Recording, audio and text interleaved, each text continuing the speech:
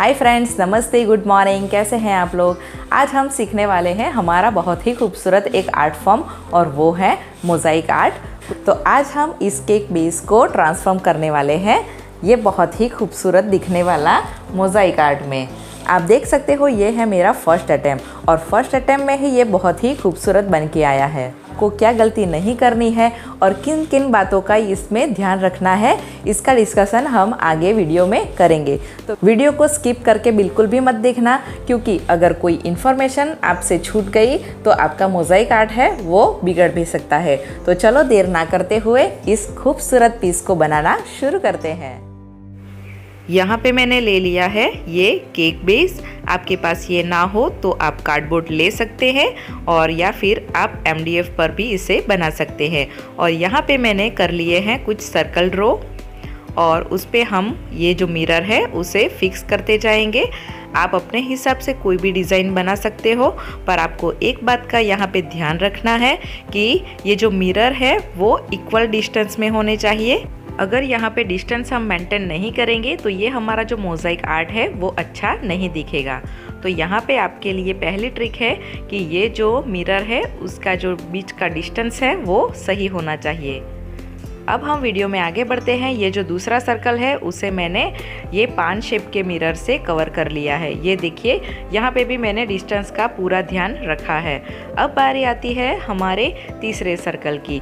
तो तीसरे सर्कल में हम करने वाले हैं राउंड मिरर को पेस्ट आप अपने मोजाइक आर्ट में कोई भी शेप और साइज़ के मिरर ले सकते हैं, पर आपको एक बात का ध्यान रखना होगा कि जो आपकी डिज़ाइन है, उसके अकॉर्डिंग ही आप मिरर सिलेक्ट करें। ये देखिए, ये मैंने सारे मिरर जो है, वो पेस्ट कर दिए हैं। ये बहुत ही खूबसूरत लग रहे हैं और आपने देखा होगा कि इसमें जो डिस्टेंस है, वो इक्वल है। तो चलो इसे साइड में रखते हैं। अब बनाते हैं उसका पेस्ट। यहाँ पे मैंने थ्री चम्मच वॉल पुट्टी ले ली है और उसमें थ्री चम्मच जितना ही हम फेविकॉल ऐड कर देंगे। आप कोई भी वाइट ग्लू ले सकते हैं।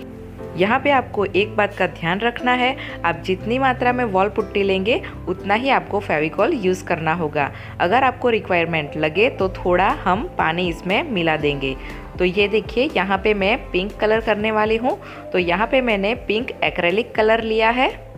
अगर आप इसे वाइट करना चाहे तो भी आपको वाइट कलर इसमें मिलाना होगा। यहाँ पे मुझे कलर लाइट लग रहा था तो मैंने फिर से इसमें पिंक ऐड कर दिया है। और आप देख सकते हो, ये लम्स फ्री हमने पेस्ट रेडी कर लिया है। ये जो पेस्ट है, उसमें एक भी लम्स नहीं रहना चाहिए और इसकी कंसिस्टेंसी कुछ ऐसी होनी चाहिए कि वो अपने आप ना गिरे। तो चलो, हम इसे अप्लाई करके देखते हैं। तो यहाँ पे मैं अप्लाई कर रही हूँ तो ये जो पेस्ट है, वो अपने आप नहीं फैल रहा है। मुझे उसे फैलाना पड़ रहा है तो आपको भी ऐसा ही पेस्ट रेडी करना है। अगर आप मेरी वीडियो को यहाँ तक देख रहे हो तो प्लीज़ वीडियो को लाइक कर देना और एक प्यारा सा कमेंट कर देना कि आपको ये आर्ट कैसा लगा। अगर आप ये आर्ट बनाते हो तो प्लीज़ मेरे साथ मेरे इंस्टाग्राम पे ज़रूर से शेयर कीजिएगा। ऐसे ही इंटरेस्टिंग वीडियो के लिए मेरी चैनल को सब्सक्राइब करना बिल्कुल भी ना भूले और बाजू में जो बेल आइकन है, उसे भी दबा देना ताकि मैं जो भी वीडियो लेके आऊँ तो उसकी नोटिफिकेशन आपको मिल जाए। तो ये देखिए बातों बातों में हमने सारी पेस्ट जो है, वो लगा ली है। अब ये थोड़ा सा सूख जाए तो उसके बाद हम ये जो मिरर है, उसे थोड़ा क्लीन कर लेंगे, ताकि बाद में हमें ज़्यादा इसे क्लीन ना करना पड़े। तो ये देखिए, ये इजीली पेस्ट निकल जा रहा है। यहाँ अगर हम पहले ही मिरर को क्लीन कर लेंगे तो बाद में हमें दिक्कत नहीं आएगी। ये देखिए, ये हमारा जो आर्ट है, वो सूख के रेडी है।